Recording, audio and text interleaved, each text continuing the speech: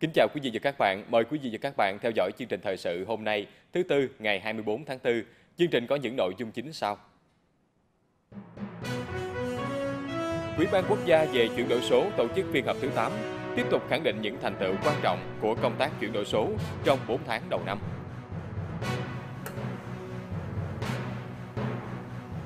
Bí thư tỉnh ủy Vĩnh Long thăm các đồng chí nguyên bí thư tỉnh ủy nhân kỷ niệm 49 năm ngày giải phóng miền Nam, thống nhất đất nước.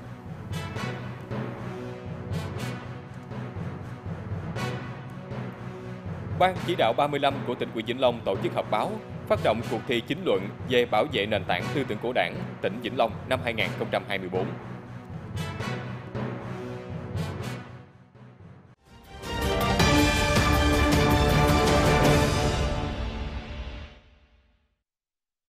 Sáng nay, Quỹ ban quốc gia về chuyển đổi số tổ chức phiên họp thứ 8 theo hình thức trực tiếp và trực tuyến với các bộ ngành và các địa phương trong toàn quốc nhằm đánh giá công tác chuyển đổi số trong 4 tháng đầu năm và triển khai những nhiệm vụ giải pháp trọng tâm trong thời gian tới. Thủ tướng Chính phủ Phạm Minh Chính, Chủ tịch Ủy ban quốc gia về chuyển đổi số, dự và chủ trì phiên họp. Tham dự phiên họp tại điểm cầu tỉnh Vĩnh Long có ông Lữ Quang Ngời, Phó Bí thư tỉnh ủy, Chủ tịch Ủy ban nhân dân tỉnh.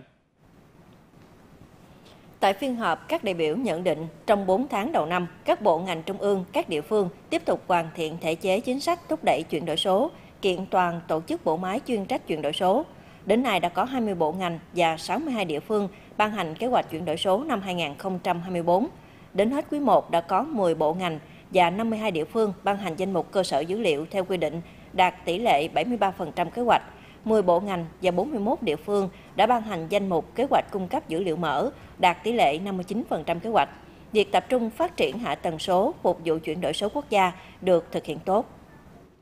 Phát biểu tại phiên họp, Thủ tướng Chính phủ Phạm Minh Chính nhấn mạnh, chuyển đổi số là khâu đột phá, là yêu cầu khách quan, lựa chọn chiến lược ưu tiên hàng đầu trong việc thực hiện các mục tiêu phát triển kinh tế xã hội, đặc biệt là giảm thủ tục hành chính, giảm phiền hà, giảm chi phí cho người dân và doanh nghiệp. Thủ tướng Chính phủ Phạm Minh Chính chỉ đạo các bộ ngành, các địa phương cần xác định ba đột phá chiến lược. Trong đó có đột phá về xây dựng thể chế đào tạo nguồn nhân lực và đầu tư hoàn thiện kết cấu hạ tầng, phục vụ chuyển đổi số, xem chuyển đổi số là yêu cầu khách quan, ưu tiên hàng đầu, là nhiệm vụ trọng tâm, đột phá quan trọng trong thực hiện các giải pháp phát triển kinh tế xã hội. Cần ưu tiên nguồn lực để nhanh tiến độ thực hiện chuyển đổi số, tập trung hoàn thiện thể chế chính sách, đẩy mạnh hoạt động số hóa các ngành kinh tế, thực hiện các giải pháp nâng cao chất lượng cung cấp dịch vụ công trực tuyến, phát triển các nền tảng ứng dụng số, thúc đẩy nhanh quá trình chuyển đổi số, triển khai đầu tư ứng dụng công nghệ thông tin gắn với việc đảm bảo an toàn thông tin mạng.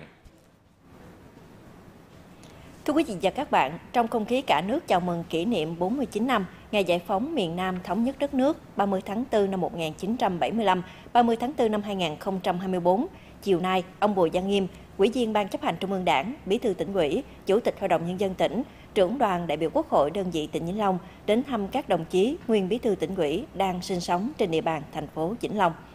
Ông Bùi Văn Nghiêm, Ủy viên Ban chấp hành Trung ương Đảng, Bí thư tỉnh ủy cùng lãnh đạo Bộ Chỉ huy quân sự tỉnh đã đến thăm gia đình ông Nguyễn Ký ức, gia đình ông Trịnh Văn Lâu, gia đình ông Nguyễn Văn Quân và gia đình ông Trương Văn Sáu, nguyên Bí thư tỉnh ủy Vĩnh Long. Tại mỗi gia đình, ông Bùi Văn Nghiêm, Bí thư tỉnh ủy ân cần thăm hỏi tình hình sức khỏe, trao tặng quà, chúc các đồng chí nguyên Bí thư tỉnh ủy và gia đình luôn mạnh khỏe, bình an và hạnh phúc. Đồng thời thông tin thêm với các nguyên Bí thư tỉnh ủy về tình hình kinh tế xã hội của tỉnh, trong đó khẳng định những giải pháp của tỉnh trong điều hành quản lý đang tạo ra sự phát triển ổn định trên các lĩnh vực, tạo điều kiện để nhân dân nâng cao đời sống. Chiều nay, Ban chỉ đạo 35 của tỉnh ủy Vĩnh Long tổ chức họp báo phát động cuộc thi chính luận về bảo vệ nền tảng tư tưởng của Đảng, tỉnh Vĩnh Long năm 2024. Bà Nguyễn Thị Minh Trang, Ủy viên Ban Thường vụ tỉnh ủy, trưởng ban tuyên giáo tỉnh ủy, Phó trưởng đoàn đại biểu Quốc hội đơn vị tỉnh Vĩnh Long, Phó trưởng ban thường trực Ban chỉ đạo, ông Trần Văn Ý, Phó trưởng ban tuyên giáo tỉnh ủy, thành viên chuyên trách Ban chỉ đạo, đồng chủ trì họp báo.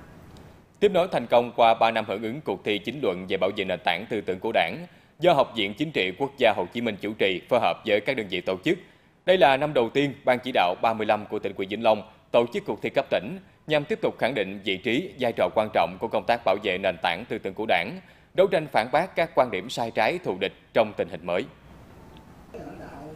Đồng thời nâng cao nhận thức trách nhiệm của cấp quỹ tổ chức đảng, của cán bộ đảng viên và nhân dân đối với nhiệm vụ quan trọng này Thông qua cuộc thi, tiếp tục phát hiện, đào tạo, bồi dưỡng rèn luyện kỹ năng cho các lực lượng, hình thành mạng lưới rộng khắp để bảo vệ vững chắc nền tảng tư tưởng của đảng, đấu tranh phản bác có hiệu quả các quan điểm sai trái thù địch, góp phần bảo vệ đảng, nhà nước, nhân dân và chế độ. Chủ đề của tác phẩm tập trung vào những vấn đề cơ bản, trọng tâm, những vấn đề nổi lên trong công tác bảo vệ nền tảng tư tưởng của đảng, đấu tranh phản bác các quan điểm sai trái thù địch hiện nay, quán triệt và thực hiện tốt phương châm, kết hợp chặt chẽ giữa xây và chống. Trong đó xây là cơ bản, chống là quan trọng và phải quyết liệt hiệu quả, lấy cái đẹp dẹp cái xấu, lấy tích cực đẩy lùi tiêu cực. Ban tổ chức cuộc thi nhận hồ sơ tác phẩm dự thi từ khi phát động đến hết ngày 25 tháng 6 và dự kiến sẽ tổ chức trao giải cuối tháng 9 năm 2024.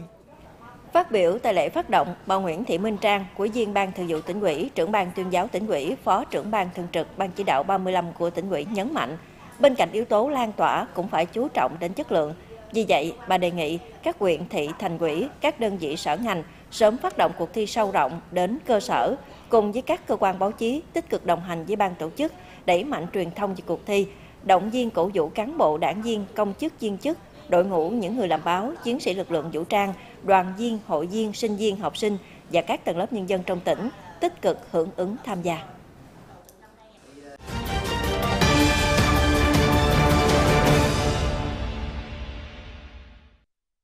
Chiều nay, Ban chỉ đạo chương trình Mục tiêu Quốc gia giảm nghèo bền vững xây dựng nông thôn mới quyền Long Hồ tổ chức lễ công bố quyết định của Chủ tịch Ủy ban Nhân dân tỉnh Vĩnh Long công nhận xã Phước Hậu đạt chuẩn nông thôn mới nâng cao năm 2023. Đến dự có ông Nguyễn Minh Dũng, Ủy viên Ban Thường vụ tỉnh ủy, Phó Chủ tịch Thường trực Hội đồng Nhân dân tỉnh, ông Nguyễn Văn Liệt, tỉnh ủy viên, Phó Chủ tịch Ủy ban Nhân dân tỉnh, ông Hồ Văn Minh, tỉnh ủy viên, trưởng ban nội chính tỉnh ủy và lãnh đạo các sở ban ngành tỉnh.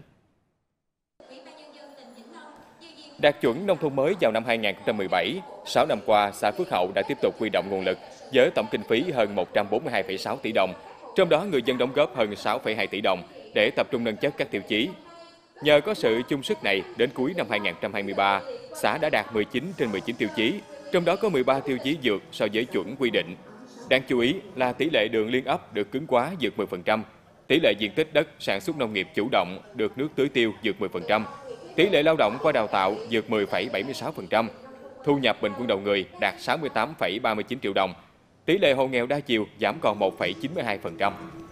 Phát biểu tại buổi lễ, ông Võ Trung Sơn, Phó Chủ tịch Ủy ban nhân dân huyện Long Hồ đề nghị địa phương tiếp tục làm tốt hơn nữa công tác tuyên truyền vận động nhân dân trong tham gia xây dựng nông thôn mới nâng cao, hướng đến xây dựng nông thôn mới kiểu mẫu, đặc biệt là thực hiện tốt đề án cơ cấu lại ngành nông nghiệp ứng dụng công nghệ cao trong sản xuất nông nghiệp, mở rộng các loại hình dịch vụ, thu hút doanh nghiệp, tạo ra các sản phẩm chủ lực, nhất là phát triển sản xuất rau an toàn tại địa phương. Tại buổi lễ, Ủy ban nhân dân tỉnh Vĩnh Long tặng cờ thi đua cấp tỉnh cho Đảng bộ, chính quyền và nhân dân xã Phước Hậu và tặng công trình phúc lợi xã hội trị giá 500 triệu đồng. Nhân dịp này, Ủy ban nhân dân tỉnh tặng bằng khen cho hai tập thể và 7 cá nhân có thành tích tiêu biểu xuất sắc trong phong trào Vĩnh Long chung sức xây dựng nông thôn mới. Cũng chiều nay, Ủy ban nhân dân huyện Tam Bình tổ chức lễ công bố xã Mỹ Lộc đạt chuẩn nông thôn mới kiểu mẫu năm 2023. Đây là xã đầu tiên của huyện Tam Bình đạt được danh hiệu này. Đến dự có bà Nguyễn Thị Minh Hạnh, Ủy viên Ban Thường vụ tỉnh ủy, trưởng ban dân vận tỉnh ủy, bà Nguyễn Thị Quyên Thanh, tỉnh ủy viên, Phó Chủ tịch Ủy ban nhân dân tỉnh Vĩnh Long. Với quan điểm người dân là chủ thể trong thực hiện chương trình mục tiêu quốc gia xây dựng nông thôn mới, phương châm xuyên suốt là dân biết, dân bàn, dân làm, dân kiểm tra, dân thụ hưởng, xã Mỹ Lộc đã khơi dậy được sức mạnh đoàn kết thống nhất của cả hệ thống chính trị, tập trung các giải pháp huy động tối đa mọi nguồn lực, nâng cao các tiêu chí đạt chuẩn xã nông thôn mới kiểu mẫu. Trong đó, đáng chú ý là xã đã xây dựng thành công mô hình ấp thông minh, xây dựng được nhiều mô hình sản xuất đạt hiệu quả kinh tế cao, góp phần nâng cao thu nhập cho nhân dân lên 74,8 triệu đồng một người một năm, cao gấp 1,49 lần so với thời điểm đạt nông thôn mới nâng cao. Phát biểu tại buổi lễ, ông Lê Ngọc Đức, quyền Chủ tịch Ủy ban Nhân dân huyện Tam Bình, đề nghị đảng bộ, chính quyền và nhân dân xã Mỹ Lộc tiếp tục tuyên truyền, nâng cao nhận thức của cán bộ và người dân về xây dựng nông thôn mới. Mỗi người dân cần tích cực học tập, nâng cao trình độ, ứng dụng khoa học kỹ thuật vào sản xuất, triển khai kịp thời hiệu quả các chính sách của Trung ương, của tỉnh về hỗ trợ phát triển nông nghiệp, nông thôn để xây dựng nông thôn mới thực sự đi vào chiều sâu. Tại buổi lễ, Ủy ban Nhân dân tỉnh tặng cờ thi đua cho đảng bộ, chính quyền và nhân dân xã Mỹ Lộc và công trình phúc lợi xã hội trị giá 1 tỷ đồng. Các tập thể cá nhân có thành tích tiêu biểu trong thực hiện xây dựng nông thôn mới năm 2023 tại địa phương được biểu dương và khen thưởng. Dịp này, xã Mỹ Lộc nhận 100 triệu đồng từ nhà hảo tâm để xây nhà tình thương cho hộ khó khăn về nhà ở, đồng thời tặng quà cho 15 gia đình chính sách và 10 học sinh có hoàn cảnh khó khăn. Thực hiện chỉ thị số 19 của Ban Thường vụ tỉnh ủy Vĩnh Long, lãnh đạo Đại hội Mặt trận Tổ quốc các cấp nhiệm kỳ 2024-2029 đến cuối tháng 3, 100% xã phường thị trấn trên địa bàn tỉnh Vĩnh Long đã hoàn thành công tác tổ chức đại hội. Theo quỹ ban Mặt trận Tổ quốc Việt Nam tỉnh, từ ngày 19 tháng 1 đến ngày 30 tháng 3, 107 trên 107 xã phường thị trấn trong tỉnh đã hoàn thành công tác tổ chức đại hội. Kết quả đã hiệp thương bầu 3.821 quỹ viên Quỹ ban Mặt trận Tổ quốc Việt Nam cấp xã, tăng hơn 174 quỹ viên so với nhiệm kỳ 2019-2024, đảm bảo đúng cơ cấu, thành phần, dân tộc, tôn giáo, giới tính, tỷ lệ người ngoài đảng, cá nhân tiêu biểu và tỷ lệ tái cử. Trong đó, bầu 107 chủ tịch, 107 phó chủ tịch và 107 quỹ viên thường trực, Quỹ ban Mặt trận Tổ quốc Việt Nam cấp xã đạt 100%. Đại hội cũng đã hiệp thương bầu 892 đại biểu đi dự Đại hội đại biểu Mặt trận Tổ quốc Việt Nam cấp huyện. Sau khi hoàn thành Đại hội đại biểu Mặt trận Tổ quốc Việt Nam cấp xã, Ủy ban Mặt trận Tổ quốc Việt Nam tỉnh cũng đã chỉ đạo tổ chức thành công Đại hội điểm Mặt trận Tổ quốc cấp huyện tại thị xã Bình Minh để chỉ đạo rút kinh nghiệm. Chúng tôi đánh giá rất là cao công tác chuẩn bị của uh, Ban thường trực Ủy ban Mặt trận Tổ quốc Việt Nam thị xã Bình Minh ở khóa 9 đã chuẩn bị rất là nghiêm túc, công phu Ờ, cho công tác của đại hội, từ cái việc tham mưu cho ban thường vụ sâu sát trong công tác lãnh đạo và quan tâm tạo mọi điều kiện thuận lợi cho cái đại hội của ủy ban mặt trận tổ quốc của thị xã Bình Minh. Qua cái ờ, đại hội điểm của thị xã Bình Minh ờ, trên cơ sở những kết quả rút ra, những kinh nghiệm rút ra của đại hội điểm, thì chúng tôi sẽ có chỉ đạo, có đôn đốc các cái đơn vị của mặt trận còn lại sẽ phải tích cực các cái công việc chuẩn bị của mình chuẩn bị tốt về nội dung, về chương trình, ờ, về ờ, cái cái văn kiện, về đề án nhân sự và tất cả các công việc còn lại của đại hội để làm sao chúng ta đảm bảo cái ờ, tiến độ thời gian là kết thúc tháng 5 năm 2024 sẽ hoàn thành cái đại hội đại biểu mặt trận tổ quốc Việt Nam cấp huyện. Sau khi đại hội điểm ở thị xã Bình Minh từ ngày 25 tháng 4 đến 31 tháng 5, các huyện và thành phố Vĩnh Long sẽ tiếp tục tổ chức Đại hội đại biểu Mặt trận Tổ quốc cấp huyện. Riêng đối với Mặt trận Tổ quốc Việt Nam tỉnh đang khẩn trương chuẩn bị văn kiện, đề án nhân sự để tiến tới Đại hội đại biểu Mặt trận Tổ quốc Việt Nam tỉnh Vĩnh Long lần thứ 10, nhiệm kỳ 2024-2029, dự kiến diễn ra trong tháng 7 tới. Sáng nay, Ủy ban An toàn Giao thông Quốc gia tổ chức hội nghị trực tuyến toàn quốc sơ kết công tác đảm bảo trật tự an toàn giao thông quý 1 và triển khai nhiệm vụ giải pháp quý 2 năm 2024. Ông Nguyễn Văn Thắng, Ủy viên Ban chấp hành Trung ương Đảng, Bộ trưởng Bộ Giao thông Vận tải, Phó Chủ tịch Thường trực Ủy ban An toàn Giao thông Quốc gia chủ trì hội nghị. Tại điểm cầu, tỉnh Vĩnh Long tham dự hội nghị có lãnh đạo các sở ngành là thành viên Ban An toàn Giao thông tỉnh. Theo báo cáo của Ủy ban An toàn Giao thông Quốc gia, quý 1 năm 2024, nhờ triển khai thực hiện quyết liệt nhiều giải pháp, trong đó tập trung nhiều đợt cao điểm kiểm tra xử lý các vi phạm, tình hình trật tự an toàn giao thông về cơ bản được bảo đảm. Số vụ tai nạn xảy ra tuy có tăng nhưng giảm đến 15% số người chết. Có 40 tỉnh thành phố trực thuộc trung ương, số người chết do tai nạn giao thông giảm so với cùng kỳ năm 2023, trong đó 11 địa phương giảm trên 30%. Trong quý 1, lực lượng cảnh sát giao thông toàn quốc đã kiểm tra xử lý hơn 1 triệu trường hợp vi phạm trật tự an toàn giao thông trên 3 tuyến đường bộ, đường sắt và đường thủy nội địa. Trong đó có 275.165 trường hợp vi phạm nồng độ cồn, chiếm 22,23% các hành vi vi phạm. Kết luận hội nghị, ông Nguyễn Văn Thắng, Bộ trưởng Bộ Giao thông Vận tải, Phó Chủ tịch Thường trực Ủy ban An toàn Giao thông Quốc gia biểu dương ghi nhận sự nỗ lực của các bộ ngành địa phương trong công tác đảm bảo trật tự an toàn giao thông thời gian vừa qua, đồng thời yêu cầu các bộ ngành địa phương tiếp tục thực hiện quyết liệt các nhiệm vụ trọng tâm của năm an toàn giao thông 2024, gắn với chủ đề thượng tôn pháp luật để xây dựng văn hóa giao thông an toàn. Chỉ đạo thực hiện quyết liệt đồng bộ các giải pháp đảm bảo an toàn giao thông, chống ung tắc giao thông, tăng cường khai thác, sử dụng dữ liệu từ thiết bị giám sát hành trình của xe ô tô để kiểm tra, xử lý đối với các trường hợp vi phạm, tăng cường tuần tra kiểm soát đảm bảo trật tự an toàn giao thông, đặc biệt là trong dịp nghỉ lễ 30 tháng 4, 1 tháng 5 năm 2024. Công an các địa phương tiếp tục thực hiện các chuyên đề, nhất là xử lý nghiêm tình trạng vi phạm quy định về nồng độ cồn khi tham gia giao thông. Sáng nay tại Hà Nội, Bộ Công an tổ chức lễ phát động tháng hành động về an toàn vệ sinh lao động, tháng công nhân trong Công an Nhân dân năm 2024. Theo đó, Bộ Công an đã chỉ đạo công an các đơn vị địa phương và tổ chức công đoàn triển khai các hoạt động hưởng ứng tháng công nhân, tháng hành động về an toàn vệ sinh lao động phù hợp với chức năng, nhiệm vụ, đặc thù công tác. Đồng thời, cụ thể hóa chủ đề tăng cường xây dựng quy trình, biện pháp làm việc an toàn và cải thiện điều kiện lao động, giảm căng thẳng tại nơi làm việc và kết nối công nhân xây dựng tổ chức, góp phần đưa tháng công nhân, tháng hành động về an toàn vệ sinh lao động trở thành ngày hội lớn có ý nghĩa quan trọng trong đời sống công nhân và người lao động. Tại lễ phát động, lãnh đạo Bộ Công an yêu cầu công an các đơn vị địa phương, các cấp tổ chức công đoàn trong công an nhân dân triển khai sâu rộng cuộc vận động, phong trào thi đua yêu nước trong cán bộ chiến sĩ công nhân lao động gắn với chủ đề và nội dung hành động trong tháng công nhân và tháng hành động về an toàn vệ sinh lao động năm 2024.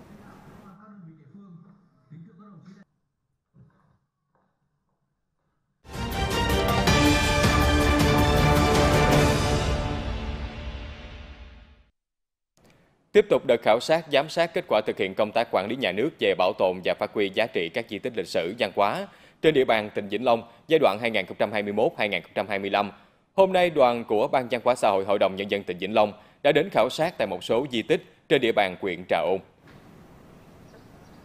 Đoàn đã đến khảo sát tại chùa cũ ở xã Hữu Thành, chùa mới Gia Kiết ở xã Tân Mỹ và di tích lịch sử văn hóa cấp quốc gia Lăng Ông thống chế điều bác Nguyễn Văn Tồn ở xã Thiện Mỹ. Đây là ba trong số 12 di tích lịch sử văn hóa của huyện Trà Ôn được xếp hạng. Kết quả khảo sát cho thấy các cấp quỹ đảng, chính quyền địa phương và cơ quan chuyên môn đã thực hiện tốt công tác quản lý nhà nước về bảo tồn và phát huy giá trị các di tích lịch sử văn hóa trên địa bàn, góp phần khơi dậy truyền thống yêu nước, phục vụ nhu cầu hưởng thụ đời sống tinh thần của nhân dân. Công tác trùng tu, tôn tạo các di tích được thực hiện đúng quy trình, thủ tục, có sự giám sát của cộng đồng dân cư. Đoàn khảo sát ghi nhận các kiến nghị của địa phương như sớm bố trí vốn đầu tư một số tuyến đường, giao các khu di tích, kinh phí trùng tu, chánh điện, giảng đường, sớm ban hành quy định phân cấp quản lý di tích lịch sử văn hóa trên địa bàn tỉnh, tổ chức tập huấn về nghi thức, nghi lễ, trình tự, lễ cúng kỳ yên, thượng điền, hạ điền cho ban quản lý di tích tại các đình để địa phương có cơ sở thực hiện. Chiều nay, Liên đoàn Lao động tỉnh Vĩnh Long tổ chức hội nghị sơ kết chuyên đề học tập và làm theo tư tưởng đạo đức phong cách Hồ Chí Minh về xây dựng văn hóa con người Vĩnh Long trong thời kỳ mới và gặp mặt biểu dương khen thưởng tập thể cá nhân tiêu biểu xuất sắc năm 2023 trong hệ thống công đoàn tỉnh. Năm 2023, các cấp công đoàn trên địa bàn tỉnh đã xây dựng kế hoạch thực hiện và cụ thể hóa chuyên đề phù hợp với nhiệm vụ chính trị, chuyên môn của cơ quan, đơn vị, sản xuất kinh doanh của doanh nghiệp gắn với các phong trào thi đua. Qua đó có hơn 10.700 việc làm cụ thể, xây dựng 615 mô hình hay, cách làm tốt, sáng tạo, phù hợp, được cấp quỹ, chính quyền đánh giá cao, mang lại hiệu quả tích cực. Nổi bật là các phong trào thi đua trong xây dựng giai cấp công nhân hiện đại, lớn mạnh, các mô hình công đoàn lắng nghe và đồng hành cùng công nhân lao động, Công đoàn phối hợp với người sử dụng lao động thực hiện tốt công tác chăm lo cho người lao động, một số biện pháp xây dựng môi trường giáo dục theo mô hình trường mầm non hạnh phúc. Tại hội nghị, 10 tập thể và 19 cá nhân tiêu biểu xuất sắc trong học tập và làm theo tư tưởng đạo đức phong cách Hồ Chí Minh về xây dựng văn hóa con người Vĩnh Long trong thời kỳ mới năm 2023 được biểu dương khen thưởng. Từ hôm nay, thí sinh đang học lớp 12 bắt đầu thử đăng ký dự thi tốt nghiệp trung học phổ thông năm 2024 trực tuyến trên hệ thống quản lý thi. Thời gian thử đăng ký dự thi kéo dài trong 5 ngày đến hết ngày 28 tháng 4. Sau thời gian thử nghiệm, hệ thống quản lý thi sẽ xóa toàn bộ phiếu đăng ký thử nghiệm để chuẩn bị cho thí sinh chính thức đăng ký dự thi trực tuyến từ ngày 2 đến ngày 10 tháng 5. Cũng từ hôm nay đến ngày 26 tháng 4, các trường trung học phổ thông bàn giao tài khoản và mật khẩu đăng nhập hệ thống cho thí sinh để phục vụ cho hoạt động thử đăng ký dự thi và đăng ký dự thi chính thức. Tài khoản học sinh được nhà trường cấp là số căn cước công dân hoặc chứng minh nhân dân hoặc mã số định danh cá nhân do cơ quan công an cấp. Trường hợp không có căn cứ công dân, không có chứng minh nhân dân hoặc không có mã số định danh, hệ thống quản lý thi sẽ gắn cho thí sinh một mã số gồm 12 ký tự để quản lý. Thưa quý vị và các bạn, năm 2024 đánh dấu tròn 10 năm quần thể danh thắng Tràng An thuộc tỉnh Ninh Bình được Tổ chức Giáo dục, Khoa học và Văn hóa Liên Hiệp Quốc UNESCO ghi danh là di sản văn hóa và thiên nhiên thế giới.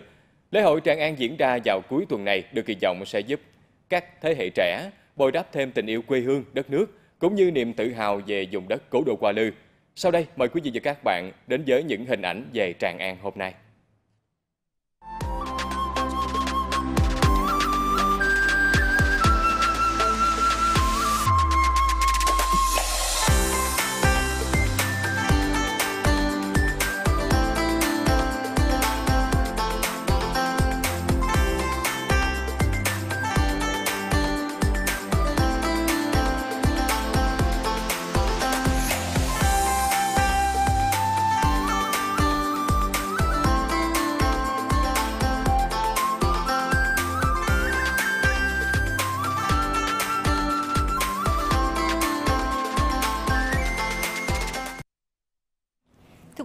Bạn, những hình ảnh về quần thể danh thắng Tràng An cũng đã khép lại chương trình thời sự tối nay của Đài truyền hình Vĩnh Long. Cảm ơn quý vị và các bạn đã quan tâm theo dõi. Để xem lại chương trình này, quý vị và các bạn có thể truy cập vào trang web www.thvli.vn